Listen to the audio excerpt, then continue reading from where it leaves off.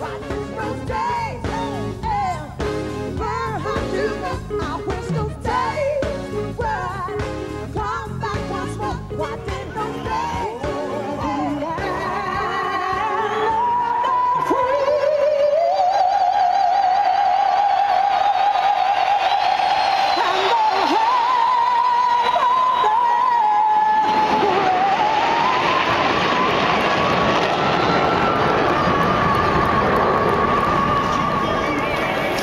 Chief, Kurt Shelmerdine. I remember he was crew chief for four of Dale Earnhardt's championship.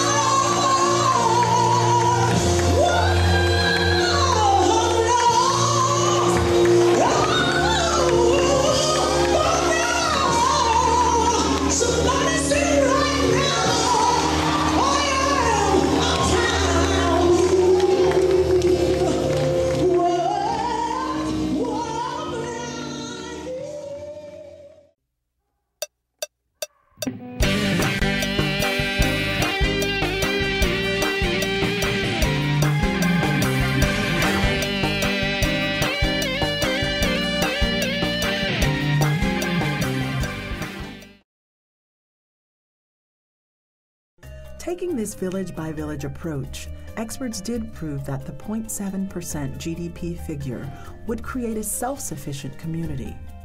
Ten countries in Africa housing almost 80 villages that correspond to the varying climate regions of the continent were chosen for this concept.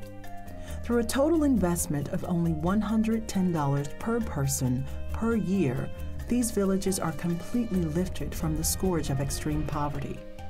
This bottom up approach mandates that once the communities get a foothold on the ladder of development, they will propel themselves onward to being completely sustainable.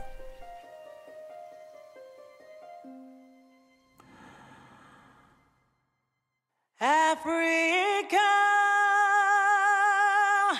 to you I sing this song of